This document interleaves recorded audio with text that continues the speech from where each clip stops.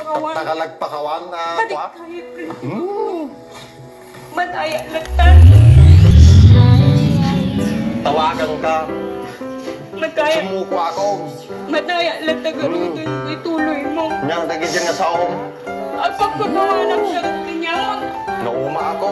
At sinatan. Dinya dagi dyan nga saong. Kahit takalagpakawan tatatatin mahal ta dito. eh. ang bukaya, kaya nalantig yan po. Bakit mo